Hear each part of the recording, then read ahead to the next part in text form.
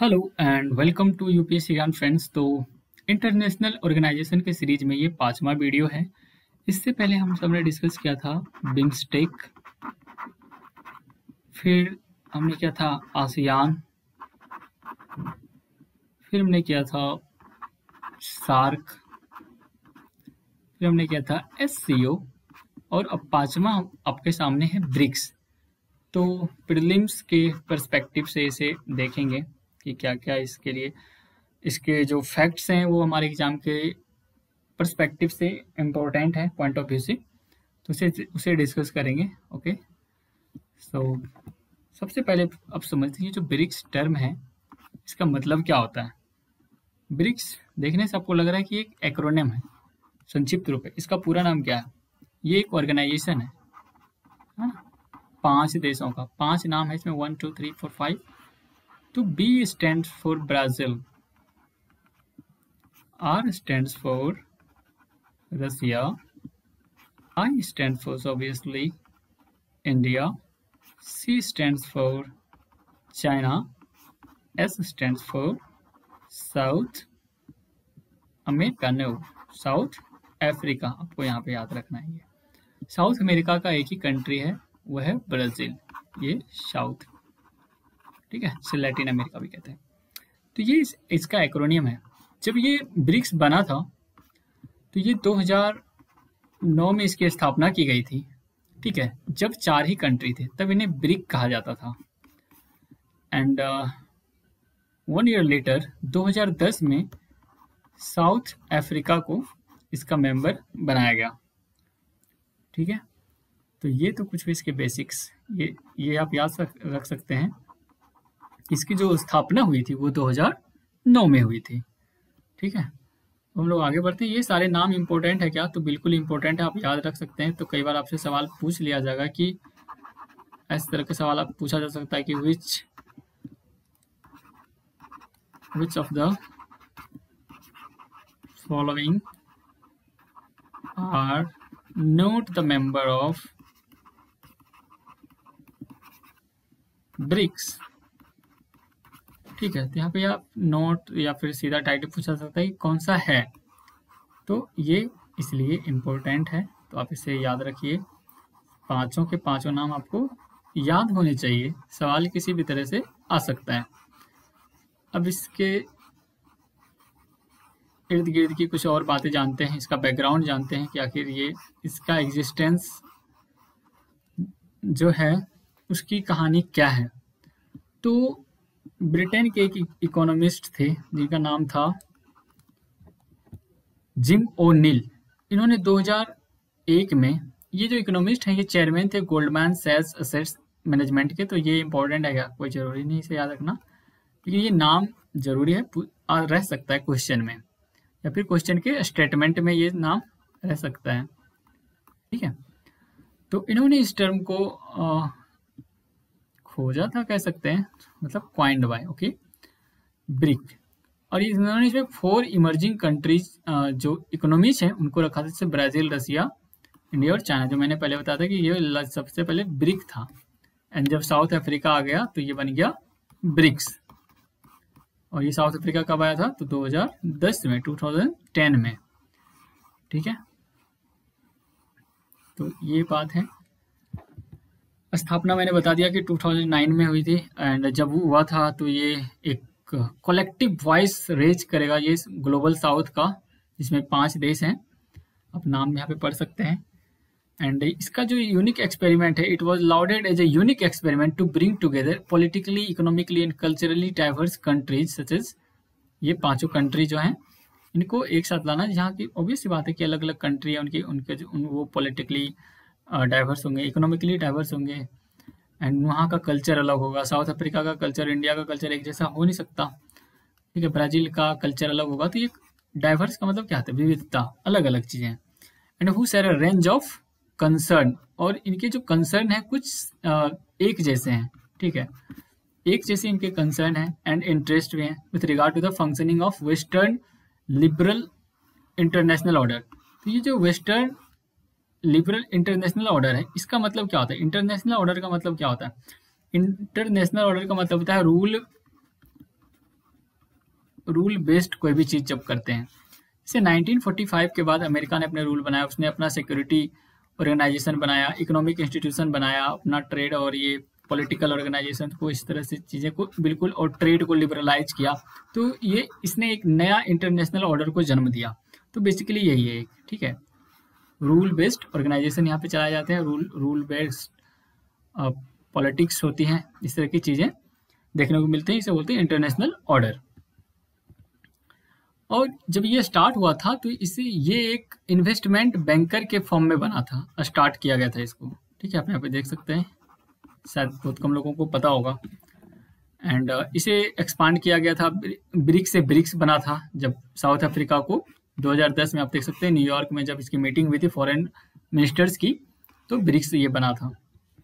And during the six BRICS summit जब छठा BRICS summit हुआ था जिसको फोटालेजा फोटालेजा में से फोटालेजा डिक्लेरेशन भी uh, कह सकते हैं।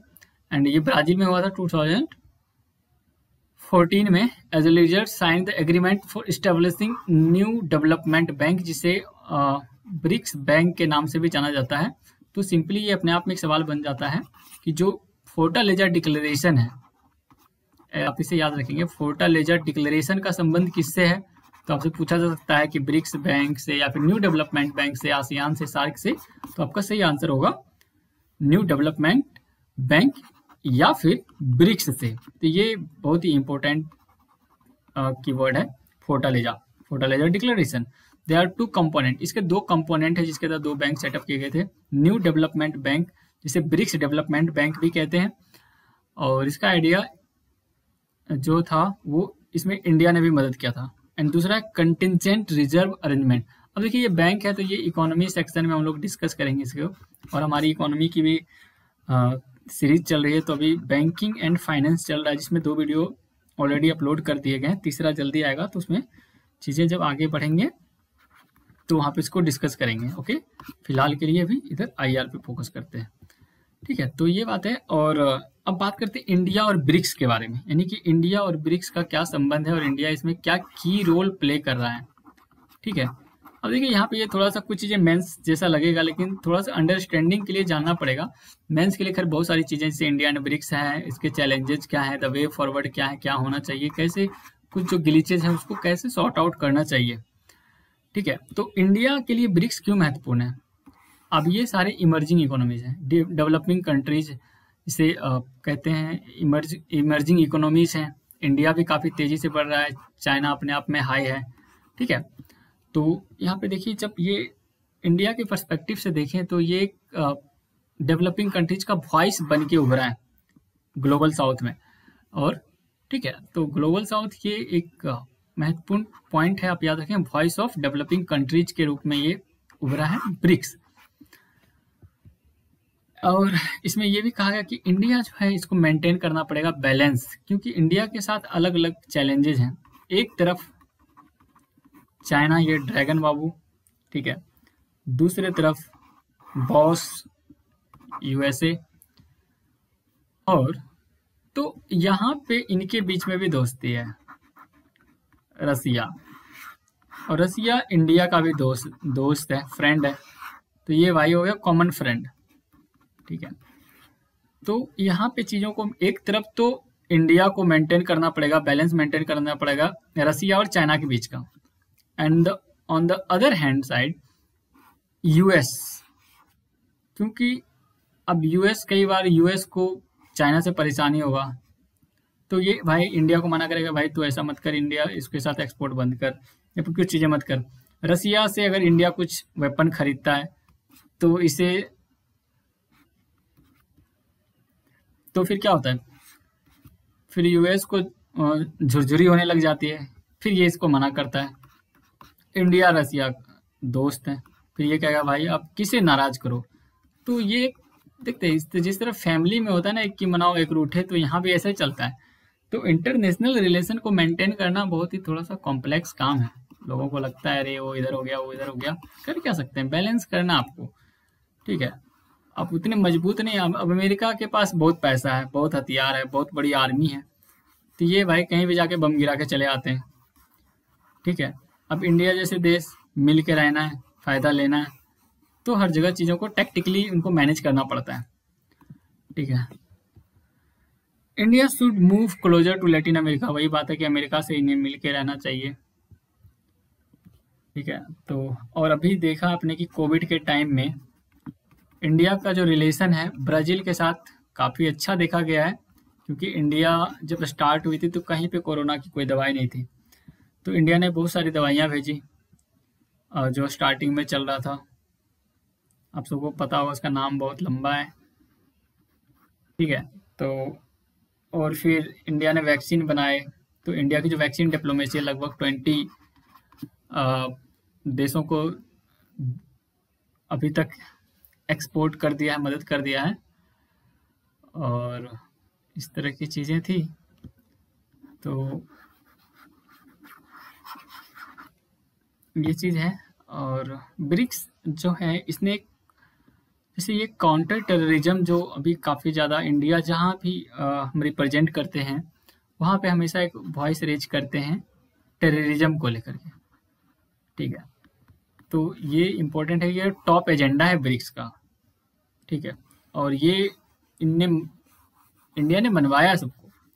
तो ये इंडिया के लिए एक सक्सेस है कि सभी लोग अब टेररिज्म के बाद कहते हैं, अभी लास्ट कुछ दिनों से आपने देखा होगा, बहुत सारा टेररिज्म जैसे अभी फ्रांस में किस तरह की चीज़ें होती है वहाँ पे, और पाकिस्तान में ओबियसली ठीक है प्रोडक्शन हाउस ऑफ़ टेररिस्ट तो खुद वहाँ पे बम गिर जाते हैं। बहुत साल पहले, कुछ महीने पहले टर्की में देखा आपने कैसे चर्च को मॉस्को बना दिया गया और इस तरह की चीज़ें। तो ये एक बेस्ट एजेंडा था और इंडिया इस बात को U N S C O कहीं भी हो, जिस, जहाँ पे इस तरह के फॉर्म फॉर्म्स होते हैं बिम्स्टेक हर जगह इस बात को उठाता है इंडिया कि टेररिज्म से लड़ना है काउंटर टेररिज्म ठीक है? तो ये चीज़ें और बहुत सारे चैलेंजेज उभर रहे हैं डब्ल्यू की तरफ़ से भी, से लेकर के क्लाइमेट चेंज तो WTO का role last to last year आप सबको पता ही होगा कि बेचारा वैसे ही पॉपट बन के रह गया। तो वो भी डब्ल्यू के बारे में ज़्यादा बात करना नहीं है। और इंडिया ये चाहता है कि ब्रिक्स जो है वो प्रोटेक्ट करेगा right of the developing country तो जो डेवलपिंग कंट्रीज़ हैं, उसके राइट को प्रोटेक्ट करना, ये ऐसा विश्वास है। और हो भी सकता है अगर सारे अच्छे से कॉपरेट करके काम करें तो। ठीक है? और इंडिया काफ़ी टाइम से एक एफर्ट लगा रहा है to address the glaring gaps in area such is counter terrorism to fight against climate change and U UNSC reform इन तीनों क्षेत्रों के लिए इंडिया हमेशा से इस गैप को भरना चाह रहा है कि काउंटर टेररिज्म पे सब कोई पूरा वर्ल्ड मिलके स्टेप ले तो इसे ख़त्म किया जा सकता है। और क्लाइमेट चेंज को लेकर के, ठीक है। जैसे कि देखा आपने जब ट्रंप महोदय थे तो इन्होंने कहा कि भाई ये क्लाइमेट चेंज क्लाइमेट चेंज कुछ होता नहीं है। तो पेरिस पैक्ट से इन्होंने विथड्रॉ कर लिया। फिर वापस से बाइडन महोदय आए, उन्होंने कहा, नहीं भाई। तो ट्रंप ने जहाँ जहाँ छोड़ा था, वहाँ वहाँ वापस ही पहुँच गए। डब्ल्यूएचओ की पॉलिसी खराब लगी ट्रंप ने उसे छोड़ दिया। तो इस तरह की चीज़ें चल चल रही थी और इंडिया इसका एक कहते ना, पुरोधा बनाए हर जगह इस तरह के यूएनएससी में चीज़ें गड़बड़ हो रही थी। इन्होंने कहा, भैया, उसमें इसके जो जो पुरानी चीज़ें हैं कन्वेंशन उसमें, में रिफॉर्म की ज़रूरत है। ट्रांसपेरेंसी आनी चाहिए और सब अपॉर्चुनिटी जो होना चाहिए। वो उनको इंश्योर करना चाहिए सभी के लिए। तो ये चीज़ें हैं। और दो हज़ार इक्कीस का जो ब्रिक्स समिट होने वाला है, वो इंडिया में शेड्यूल्ड है। तो ये आप याद रखें, अगर वनडे एग्ज़ाम के लिए तैयारी कर रहे हैं तो पूछा जा सकता है कि 2019 21 में कहाँ होगा। तो इंडिया में होगा। And India was the main BRICS country behind the establishment of NDB समझा कि न्यू डेवलपमेंट बैंक के पीछे इंडिया का बहुत बड़ा रोल था। तो यहाँ पे कुछ मैप देख सकते हैं। इधर ये ब्राज़ील है, साउथ अफ्रीका है, इंडिया, इधर इंडिया, इधर चाइना और ये रसिया। तो मैप में आप करेंगे तो कई बार चीज़ें पूछ लिया जाता है कि ब्रिक्स कंट्री में कौन पहले आएगा, नॉर्थ टू साउथ लगाइए। तो ये इंपॉर्टेंट है आपके लिए कि मैपिंग भी साथ साथ करते रहे जैसे ब्राज़ील है, इधर ये साउथ अफ्रीका है एंड ये ऑब्वियसली इंडिया है और ये चाइना है एंड ये है रसिया। तो ये कुछ फैक्ट्स थे ब्रिक्स से रिलेटेड जो एग्ज़ाम के पॉइंट ऑफ़ व्यू से महत्वपूर्ण है। बाकी जो जैसे 2021 में अभी होगा, जब भी होगा, जब भी ये शेड्यूल इसकी आएगी न्यूज़ में आएगा तो आपको जानना है कि इसमें जो की फाइंडिंग्स आए हैं तो इससे आप अपने नोट्स को अपडेट करेंगे। क्या क्या न्यू इनिशिएटिव लिए गए न्यू जैसे पढ़ना है आपको। क्या न्यू इनिशिएटिव लिए गए सारे कंट्री ने?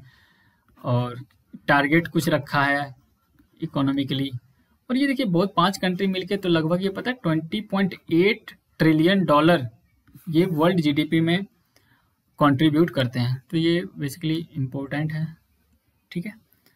तो ये कुछ बातें थी ब्रिक्स से रिलेटेड इंपॉर्टेंट बातें जो परीक्षा के पॉइंट ऑफ़ व्यू से प्रीलिम्स के पॉइंट ऑफ़ व्यू से काफ़ी महत्वपूर्ण है। और अगर यहाँ से सवाल आते हैं तो सही होने की संभावना, अगर अच्छे से इसे देख लिया जाए तो हंड्रेड परसेंट है और प्लस टू मार्क्स आप गेन कर सकते हैं। अगर कोई एग्ज़ाम है जहाँ पे वन मार्क्स का है तो वहाँ पे वन मार्क्स आप कर सकते हैं। कोई भी इंटरनेशनल ऑर्गेनाइजेशन से आता है और यहाँ पे जितने इंटरनेशनल ऑर्गेनाइजेशन है, सबको डिस्कस किया जाएगा। तो चैनल पे बने रहने के लिए चैनल को सब्सक्राइब ज़रूर कर लें। Thanks for watching UPSC Gyan have an awesome